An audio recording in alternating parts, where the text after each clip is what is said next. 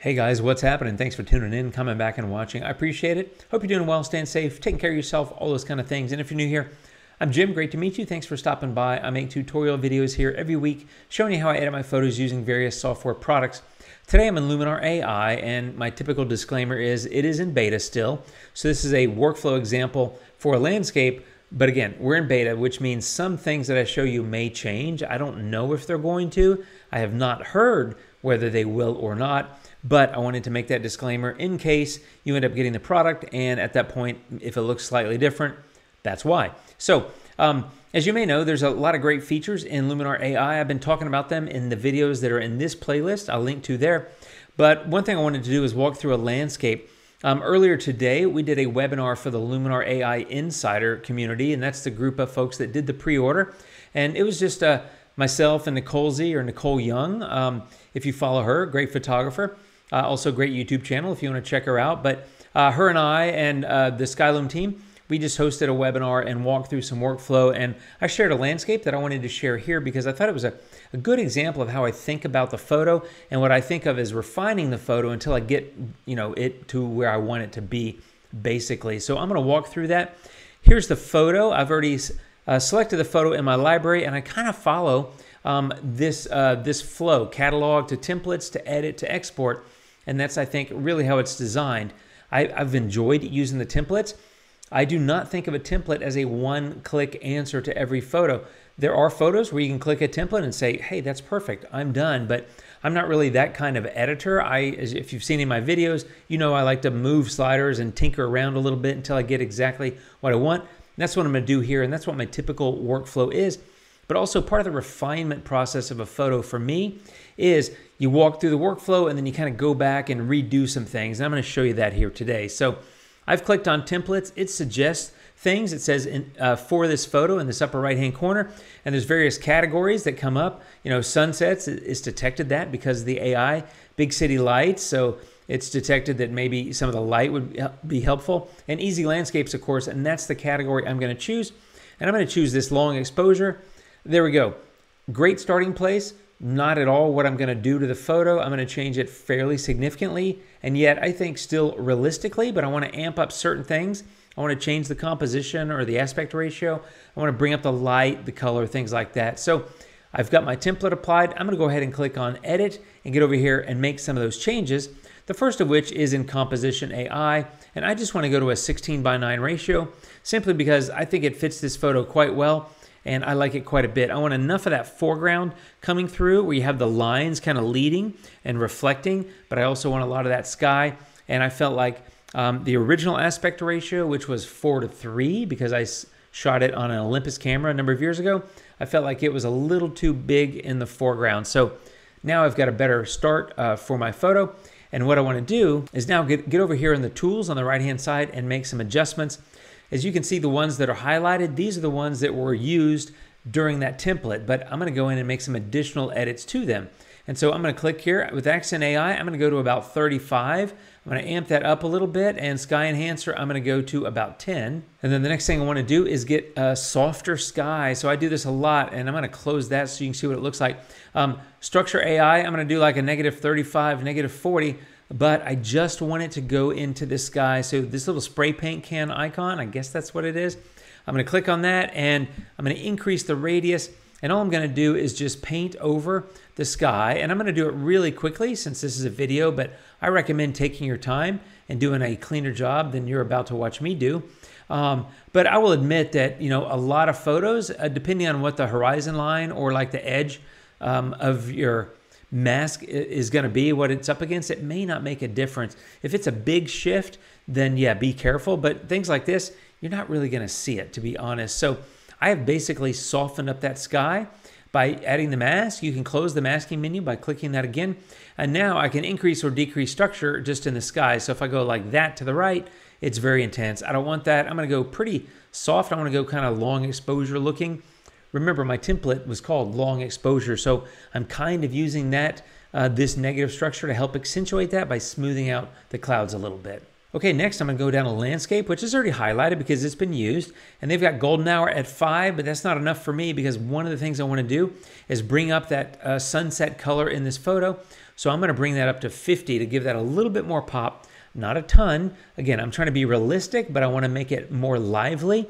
And I'm gonna do some other things in a couple of minutes that'll help me with that color. So I'm pretty good there on that first tab. And what I want to do now is get into the creative tab and have a little bit more fun. The first thing is going to be going into atmosphere AI. And what I'm going to do is I'm going to choose haze and I'm going to apply that at about a 55, 56, something like that. And then the depth. So this is where I love this uh, tool because it's got 3D depth mapping. It's it's basically mapping the distance from you know, kind of where the viewer is to where objects are. And so it sort of figures things out. And the depth here, uh, in fact, let me do this. I'm going to make that to like 100 so you can see it better. And then the depth, as you can see, that'll bring it more forward to you in the photo. So this haze is kind of like a low-lying fog kind of look. I'm going to put it at about 55, 56, something about like that. And the depth uh, here at about 35, 36. Um, it's pretty subtle as you can tell, but if I turn this off, and if you look in that center section kind of a, along the horizon line, you don't see it because it's off. And when I turn it on, you can see there's a little bit there. I just wanted a tad, just a little bit, just to give it a little bit of mood. And I think that fits because you'll often see mist or haze coming in off an ocean like that. So I think it fits the photo. And that's how I'm using Atmosphere AI. I'm using combination of the amount with the depth because of the 3D depth mapping. Um, I think it's applying nicely and that depth is kind of pulling it forward when you need it to. Next, I'm going to toning also here on the creative tab. And this used to be called split toning, but I'm going to move the saturation to about 18 or 20. I'm going to leave the hue where it is. And by the way, I'm in highlights. And so all that's doing is taking the highlights of the photo and creating a little bit more redness in them. So if I turn that off, if you look at that pink over there on the left, there it is before and there it is after just a little bit a difference would be like if, if I really drag this to the right, you can see it's really going to hit it hard. But again, I'm not trying to go over the top. I'm going to go 20, kind of gentle, kind of subtle, but bringing some of that pink color back, and I like that. Now I'm going to go to Mystical just because it's such a great tool. And I'm going to go about 50 or so here, 50, 51. But I am going to lift the shadows a little bit. And I'm going to go to about 45 or something there because I don't want to create too much darkness. The Mystical tool does a great job of adding what I call like a romantic mood, but it also creates more contrast and darkness in certain areas. So there it is beforehand and there it is after. You can see it's a little bit darker. So that's one of the reasons I brought up the shadows because I do not want to obscure the foreground. Those are my lines that are kind of leading me into the photo and leading my eye into the sunset. And of course, Big Haystack Rock is sitting there. I want to kind of draw your attention to those parts of the photo. So now I'm done in the creative tab and I'm actually going to use something on the portrait tab. And this is not something that you would normally think of using with a landscape. And in fact, it's on the portrait tab for a reason, and that's high key. Um, and if I drag it really high, you can see what it does. Um, it creates interesting kind of you know brighter sky, but I don't like it in the sky, but I do like what it did to the foreground. So I'm going to put that at about a 40, and I'm going to get a masking tool again, and this time I'm going to get the gradient mask. And once I click that, I'm just going to click and drag, and I'm going to apply the, um, the high key just to the foreground. So you can kind of see where that is being masked. And I'm going to close that. So now if I turn this off, there it is before and turn it back on. There it is after. Kind of what it did is a little bit of contrast and a little bit of pop in the highlights. So that's kind of brightening the highlights there in the foreground and giving you a little bit more visibility into that. So if you look one more time, there it is. Highlights are a little bit more muted and now turn it back on, they're a little bit brighter. So that was an interesting little tip or trick that I tried on a landscape escape and it happened to work well for me. I, you know, every, uh, your mileage may vary, right? Every photo is going to be different, but something to experiment with. Even though it's on the portrait tab, that one in particular is not AI based and um, it's not designed to recognize humans.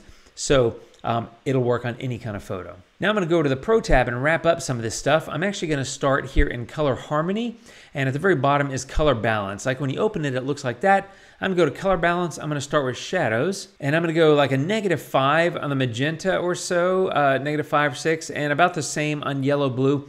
All I'm doing is putting a little bit of magenta and yellow in the, uh, the shadows. In other words, I'm making them a little bit warmer, very very minor amount, maybe not even noticeable. And then the highlights, I'm going to take the cyan in red and go to the right and give that a 10 or so, again, just to give it a little bit of color in the highlights. So if I turn that off and you look at the before photo, a little bit more muted color, and the after photo, a little bit more vibrant color. Again, very subtle. I'm not trying to blow someone away and really make their eyes pop. I'm just trying to bring back some of that color. And I'll show you at the end. I mean, we've made a lot of change to this photo, but it hasn't been a significant amount of heavy editing. It's been a lot of little incremental things that are adding up over time, and you'll find that you make a big difference when you do that. Okay, now dodge and burn. One of the things I like about the photo is Haystack Rock, but it's pretty dark. So I'm gonna come over here on lighten, and I usually recommend starting with a pretty low strength. I'll usually start around 15 or 20, and all I wanna do is do a little um, lightning, uh, which is the dodging, and I'm gonna just paint that lightning here into Haystack Rock because I want to create a little bit more visibility, which is going to create a little bit more viewer interest in the photo because your eye is going to be drawn to things that are colorful and things that are bright. If it's dark and muted color, you're less likely to look at it. So this was a little too dark, so I'm just kind of trying to brighten that a little bit, and I just kind of keep painting over it till I kind of get it the way I like it. And you're looking at it, and as I do it, it doesn't seem like a lot's happening, but let me turn off Dodge and Burn and there it is before Dodge and Burn, so fairly dark to be honest. And as you can see when I turn it back on, quite a bit brighter. So that, that helps quite a bit, I think. And now here's kind of the refinement component of this video and this tutorial, and that is I've got a photo that I really like, to be honest. You know, obviously it just has great memories for me, and I remember this evening quite well. I, I got a lot of shots that I really love. Uh, you know, a fabulous location and just stunning light. The sunset was incredible but I'm not really done. I'm looking at it. I'm like, you know, I'm not done. So I want to go back and refine it. And so, as I said earlier, I kind of start with catalog and go templates, edit, and then export when you finish. But I find I do the same thing over here. I start with essentials and then go creative and then go portrait if I need it um, and professional. But I've hit professional. I'm kind of at the end, but I'm going to go back to the beginning because I don't feel like I'm done. And that is, first thing I want to do is take AI accent or accent AI and I want to move that up a little bit more. I'm going to go to 50 or so because um, I still feel like the photo was a little bit too dark, and I don't want to lose. Um, you know any of the detail in the foreground and those lines it, was just a little too dark. So accent ai is perfect for that to give me a little bit more brightness and a little bit more pop in the photo. I'm liking that. And then i'm to go up here to light. And the other thing is it's really too cool for me. I'm creating a bit um, or i'm accentuating the existing sunset mood. Although this was it was past sunset but there's still some pink in the sky, which we brought back, but there's too much blue. So I'm going to go to the temperature and I want to warm it up a little bit. So I'm going to go to something like 6100 and just give a little bit more warmth. It's going to, you know, it's going to reverse a little bit of that blue and give me a little bit more warmth in the sky, which I like. And then the last thing is I'm going to go into the color tool and go down here to HSL, which is below the fold, right? When you open it, it looks like that. So click on HSL and I'm in saturation and I'm going to go to blue and I'm just going to take the saturation of the blue down just like 10 or so. And it's really just that I don't want to overdo the blue. I want to keep it kind of tame, um, but it is blue hour. I just wanted to accentuate some of the light and tame that blue a little bit. And so that helped me do that. And that's really the whole edit. So if I show you the before photo, it looked like that. Now that doesn't include the crop, but that was the before photo. The color was really muted. It was really dark. Um, and it just, you know, it's not nearly as, as powerful of an image. And now I think it's very realistic, but we did some cool, fun things, including like high key, which is really pretty abnormal for a landscape. And I think we made the photo pop. The only thing, thing I might do is there were tons of birds flying around here, but like there's one up there and, and there's a bunch here. I might would have to zoom in and go take those out. I'm not sure. They, they distract me a little bit, but you may not see them too well in the video. My point is, you know, Find the workflow that works for you. And in my case, it is to go through those four tabs kind of in order. But just because you get to the last tab and the last tool on the tab doesn't mean you can't go back and do some refinement with tools that you used before. Like I went back, made some adjustments in the light tool and in the color tool, and of course in the uh, enhance AI tool with Accent AI. So, you know, keep in mind that your photo's not done just because you got to the end of the tool set. You can always go back and redo things. That's really what this was about. I just wanted to share that workflow. So one more time, there is before and after, quite a change. And honestly, if I wasn't talking this whole time and explaining things, this would be like a five, seven minute edit job. So, you know, you could do 10 of these an hour pretty easily. Now, the template is what got me off in the right foot, but I really had an idea what I wanted to do. The template was like a launching pad for me. Um, and that's kind of how I'm, i use templates. Like I said, it's a template for me. It's it's a design idea that says you can go in this direction, and then I go in that direction.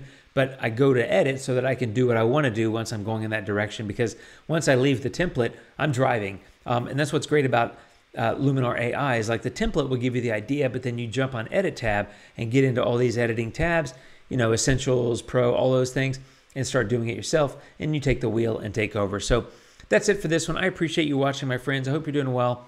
I'll see you really soon with more tutorials, and take care of yourselves out there. I'll see you later, and adios.